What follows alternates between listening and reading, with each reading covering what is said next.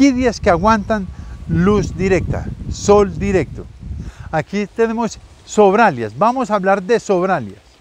Esta sobralia le pega todo el poniente. Yo estoy a plena exposición solar y mire, estamos hablando de miniaturas y ahora vamos a hablar de plantas gigantescas. Córrete un poquito para acá para que no, pero mire esta sobralia, aquí ya floreció y mire donde tenemos las cápsulas de semilla.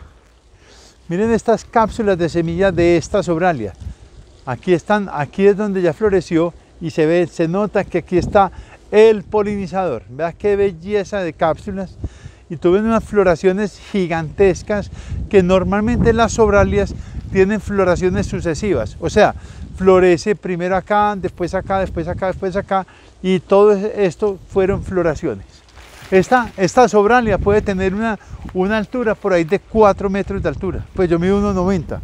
Y miren estas cañas, mire, la, es una orquídea terrestre. Mire la, el tamaño de los brotes nuevos. Mire el tamaño de los brotes nuevos. Y esta, pues también le dicen orquídea bambú, porque es supremamente agresiva. Y aquí vienen todos estos brotes nuevos. Sensacional.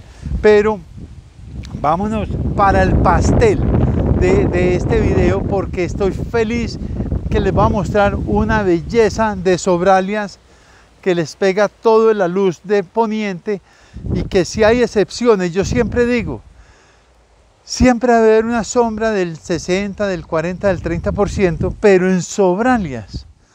Mire lo que vamos a ver de estas plantas que le pega todo el poniente.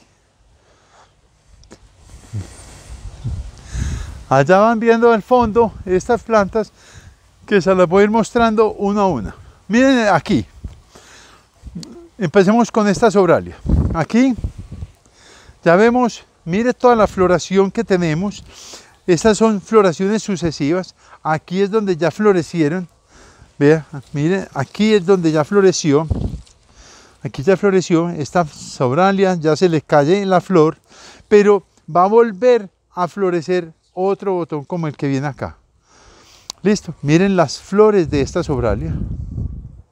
Esta sobralia es casi prácticamente flor de un día. Dura la flor un solo día. Hoy por la mañana las vi floreciendo y da todos los botones florales. Mírenlas. Una belleza. Miren los botones florales que vienen acá. Aquí vienen puros flores por abrir mañana deben estar abriendo. ¿Correcto?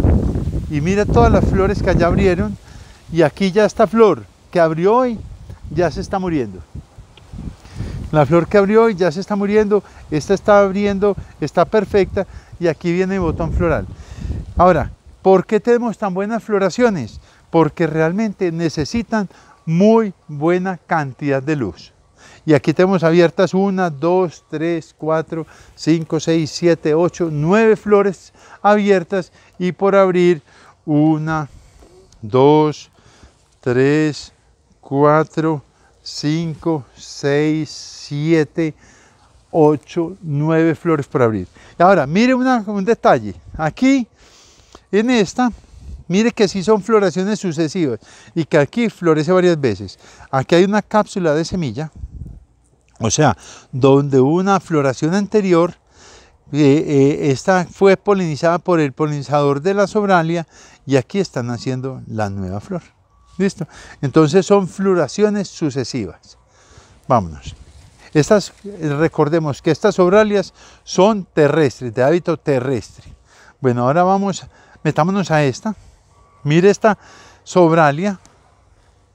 Mire el tamaño de la planta.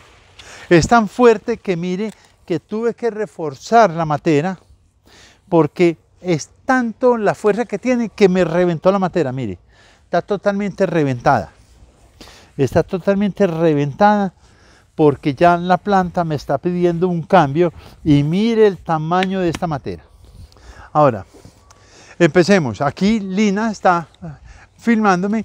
Está la parte de atrás de la matera porque ella no se desarrolla casi para acá. Mire que todas las hojas están mirando hacia el poniente. Ahora vámonos para el otro lado. Mire, este es el derecho de la mata.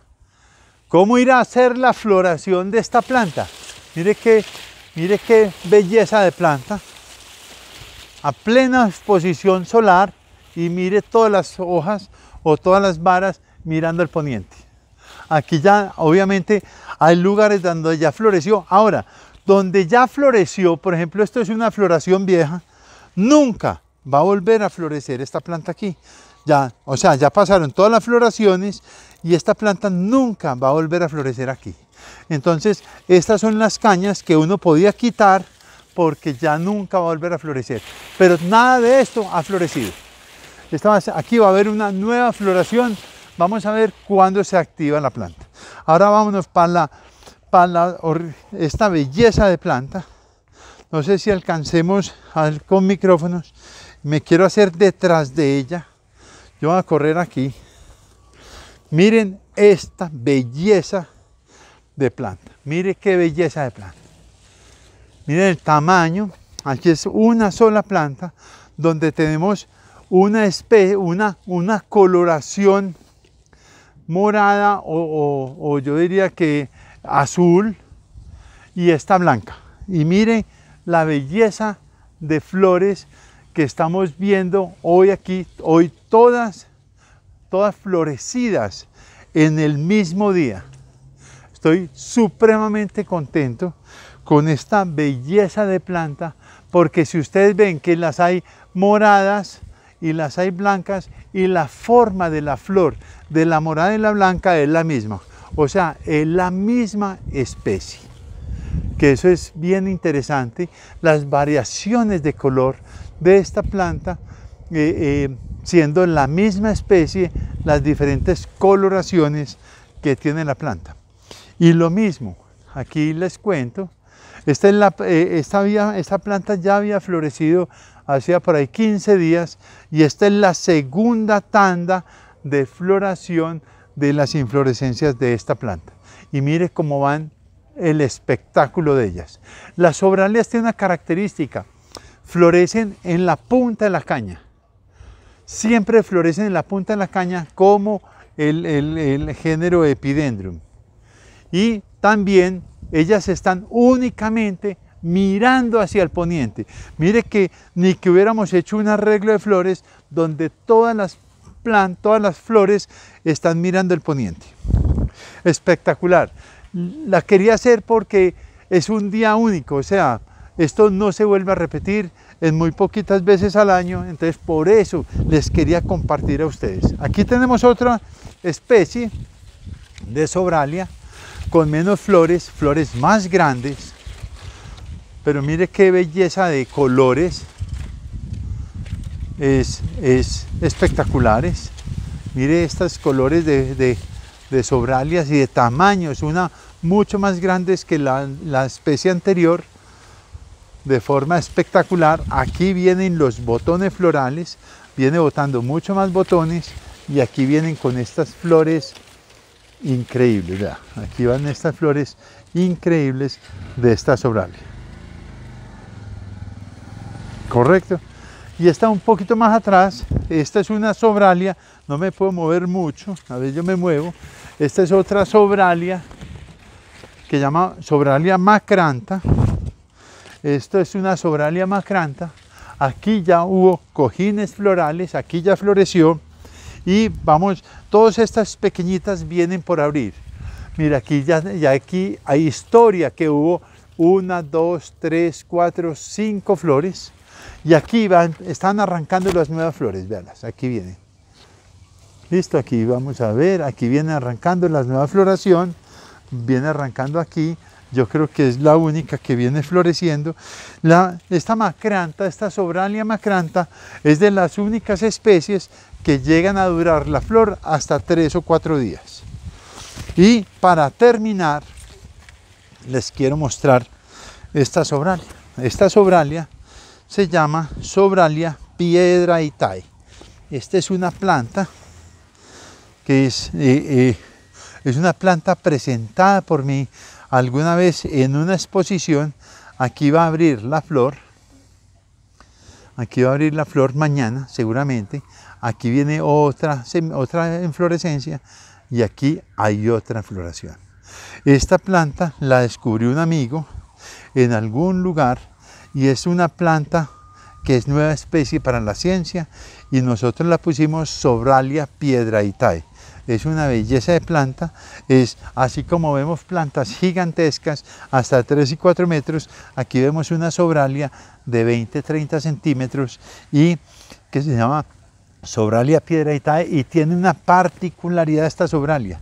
También dura de 3 a 4 días la inflorescencia, donde la vuelve una planta muy especial porque realmente es una belleza, es totalmente rosada, muy bien hecha, de muy buena característica y es una planta sensacional que gracias a un amigo que me la trajo, eh, fue clasificada como nueva especie para la ciencia por Juan David Ramírez, que fue la persona que me la trajo por primera vez y me contó el hábitat de esta planta. Después la fuimos a ver para ver el hábitat y es una belleza porque está en la mitad de un río, sobre una piedra que le pasa agua por, por los lados a plena exposición solar en un lugar bellísimo donde la verdad es un honor y placer haber conocido esta planta en su hábitat natural y que hoy la estoy cuidando y la estamos mejorando y creciendo de una forma sensacional.